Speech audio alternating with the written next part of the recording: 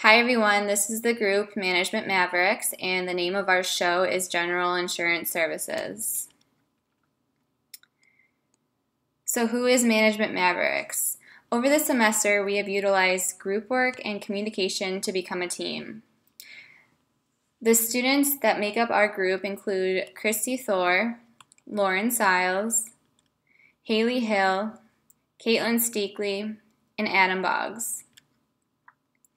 Before I get into introducing our characters, I want to discuss a few of our key management concepts we chose while producing our show over the course of the semester, and they also helped us to create our character personas. We decided to use the terms whistleblowing, training, ethical decision making, and centralized versus decentralized structures of organization. Melinda is the employee who is considered to be too much of a social butterfly. She is so much of a free spirit and friendly and individual that she doesn't realize the unintentional grief and issues that she causes for her coworkers. She's away from her desk more than she is present, and this causes conflict and other workers to become upset. Melinda doesn't always realize how long she is away until she returns. The other employees are frustrated with her as they have to pick up her slack. Caitlin is a very dedicated employee with getting her work done, and she enjoys mentoring those who need help. She's an extrovert who perceives with feelings rather than thinking. By that meaning, she will help out even when her cup is already full because it's morally the right thing to do. She has strong judgment and intuition skills that help her at the end into a managerial position. Nikolai is a very personable, easy to get along with fellow employee. He shows up on time and is trustworthy. Nikolai is infamous for breaking up awkward tension in the office with humor. Along with Nick's ability to get along with everyone comes a weakness in the form of appeasement. This sometimes gets him into trouble due to the fact that he doesn't want to get in the middle of issues, but somehow always finds himself there. He also feels he has an obligation to help or protect his colleagues from trouble and in and out of the workplace. Giselle is a charismatic employee that loves her job. She isn't afraid to speak her mind, and the employees love her for that. Her blunt personality has also been instrumental to her success at General Insurance Services. She works well under stressful situations and is always open to constructive criticism. She is fine with not being in a leadership position monitoring her coworkers as long as everyone is doing their part. And lastly, Miranda. She's quiet and reserved, who is sweet, kind, but fierce. She's laid back, but will take control of a situation at a moment's notice. She tends to keep to herself and focus on her work. However, she is close friends with Caitlin. Miranda enjoys helping others to the best of her ability and will do that what she can to see people smile if it is making them laugh at her rather than with her. She is usually underestimated as people take her kindness as weakness. And with our characters, we chose them because they're relatable to people that we will confront or have already confronted in the workplace. So let's get to the introduction of our show. General Insurance Service is an insurance carrier for homeowners in Clearwater, Florida. Melinda is an employee who is a social butterfly, who has a tasteful attitude and is a free spirit worker who's been there for almost a year. Within a couple of months of working, being the social butterfly she is, she tends to get sidetracked and goes missing several times throughout the day. This has caused her productivity level to be below expectation and caused her group to pick up the work she isn't doing. In this TV show, General Insurance Services, our group decided to use several examples of the management work ethics we learned throughout this course and event that has happened to us in real life to put into our TV show. We create our characters based off of one of our team members' actual work group, emphasizing the different attitude and work ethics of each of them the dedicated worker, the slacker, the jokester, the one who speaks whatever is on their mind, and the calm, quiet one. Using this method has helped us come up with a generic storyline, but also epic because we all can relate to the situation and everyone always has a coworker who is like our character Melinda. We wanted the same office setting as The Office show, but casting away from their character by putting them in our own personal characters and unique storyline. The management material we decided we will be using is centralized organizational structure, classical decision making, perception, SWOT analysis, manage strategically, leader role, whistleblowing, training, and overcoming resistance to change. These materials will create an issue for each episode and how we can come to a conclusion. I'm going to jump into the middle of our show for episodes 3 and 4 to demonstrate how we use some of our management concepts. In episode 3, the social aspect of a work environment comes into play. Melinda is at the center of ridicule amongst her employees, and the team morale towards her is becoming very annoyed. In an office setting, perception is everything. How Melinda perceives her relationship towards her coworkers is far different than how they feel. Perception, a way one sees a situation based on experiences, personality, and current needs, can be problematic for managers on the outside looking in. As a result of this ingrained concept, it is critical to ask others what their take on a given situation is before coming up with a solution. Perception ties under the individual decision making process, which addresses how individuals and groups make decisions. This episode addresses the complaints of the coworkers all having to deal with Melinda's irresponsibility in her role as an employee at General Insurance Services. Because Melinda feels that she is on a friend basis with her coworkers, she takes advantage of her situation and repeatedly leaves her coworkers with additional responsibilities that belong to her. This scenario is common problem in work environments because being around coworkers on a weekly basis creates blurred lines of work and personal relationships. As expected, when Melinda leaves for her sick day, the team picks up her slack as they would if any other employee was absent. With their centralized organizational structure, upper management elects Caitlin to handle the majority of Melinda's workload. When Nikolai returns from his lunch break, he informs the office that he just saw Melinda's selfies she uploaded on Facebook of her at Busch Gardens. The team becomes irate because their personal productivity is hindered due to Melinda's absence and knowing she lied about an illness for her own benefit of having the day off, which creates a hostile environment. This episode is a direct reflection of the detrimental effects perception can have in an office setting. Because Melinda mixes personal relationships and work relation- relationships, she takes advantage of her coworkers and feels their perception towards her is on a friend basis, with being more lenient towards her work ethic, but really the productivity of the office suffers, and she only forces her coworkers to resent her more.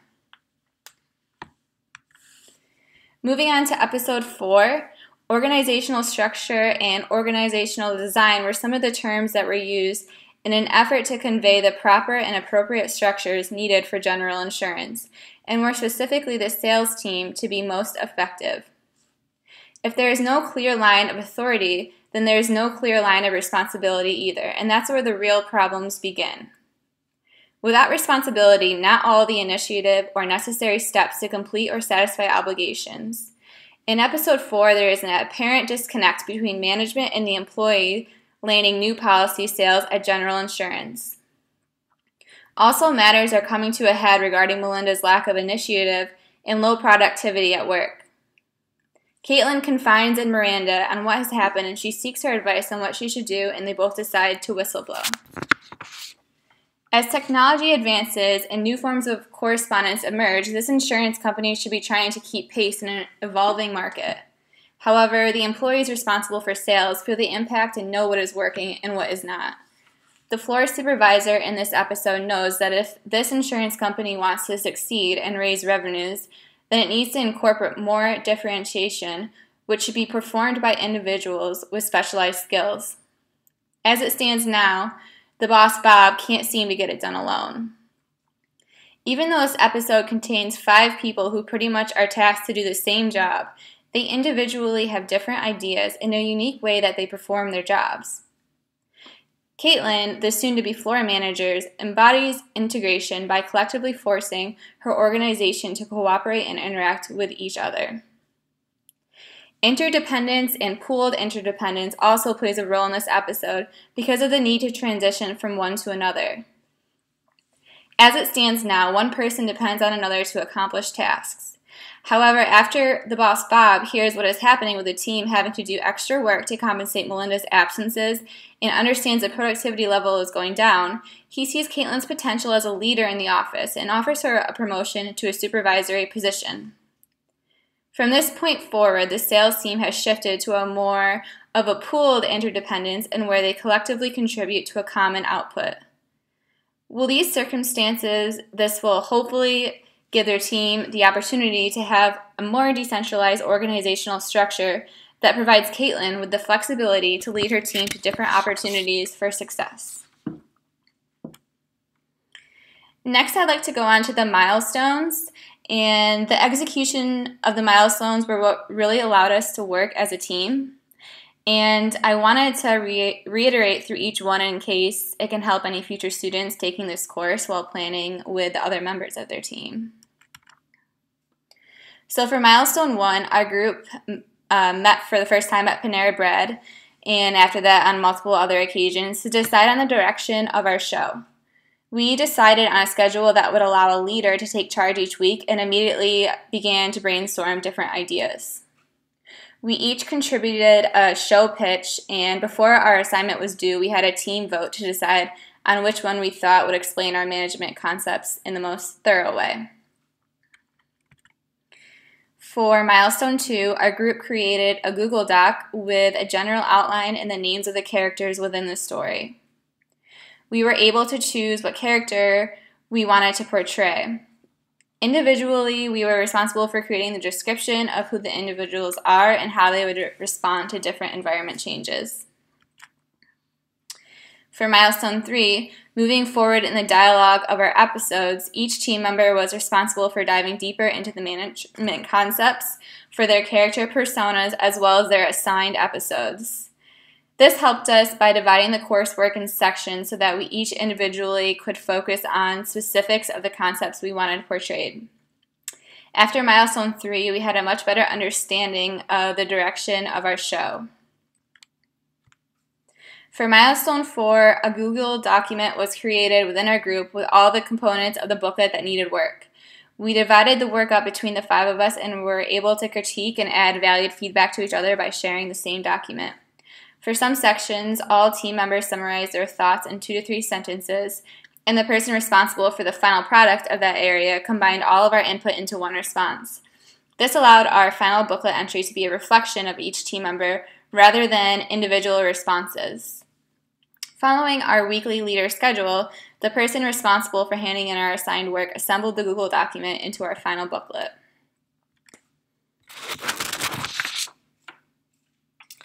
So, how did we do it? How do we execute it?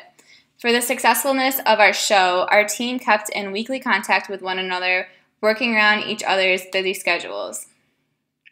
Although this was difficult at times since we all maintained different work, personal, and school lives, this taught us how to prioritize and implement a set schedule to give us a structure on completing each milestone along the way.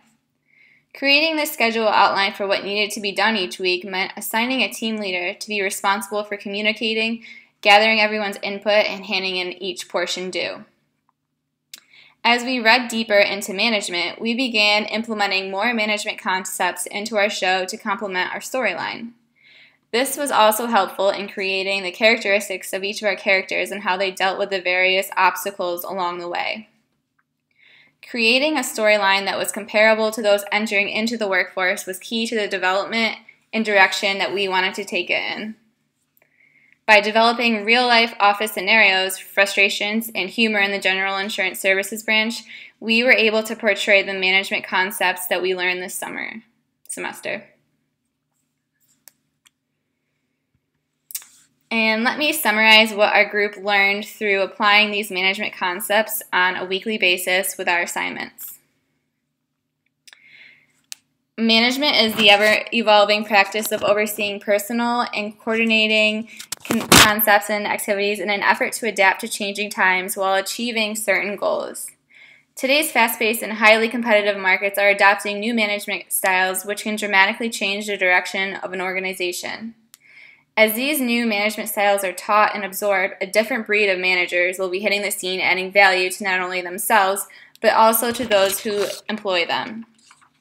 So, what will be different about them?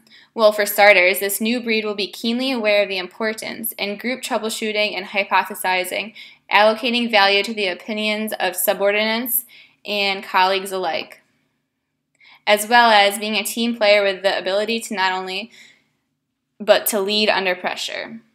The future of business is exciting, for we know with rapidly changing technology will come the need for those who can innovate and replicate their drive for success in others. How did the project help us learn the concepts? Well, for starters, on a group basis, we actually applied the concepts we were learning to working as a group. We also had to learn when to be a leader and when to take a step back. On an individual level, the reflection papers that used our real situation examples helped us apply them into the milestones and to distinguish our character personas, which we individually did. In addition, assigning an episode to each person helped to dive deeper into that concept that we were trying to portray. Management Mavericks has some advice for those future students. The advice our group would like to give those registering for this course would be to be prepared for what you're about to experience.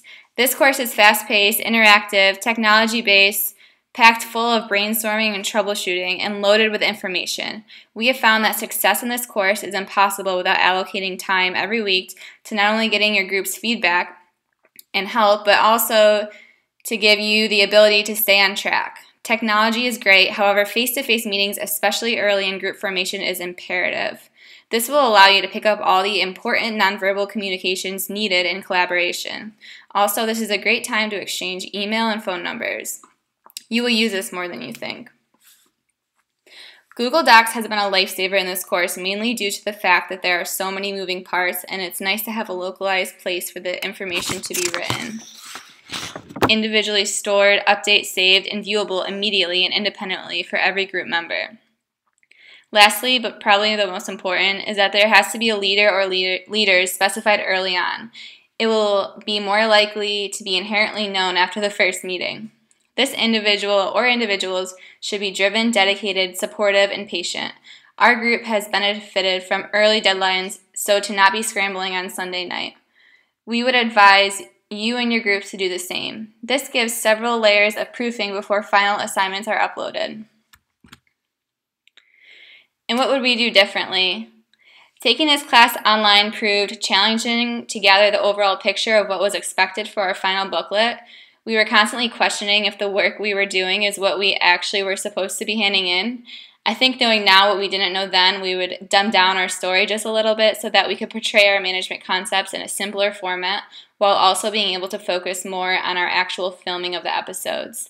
We realized later on that it was difficult to be able to film what we were trying to portray with stick figure drawings because our characters are so intricate and each episode had a lot going on.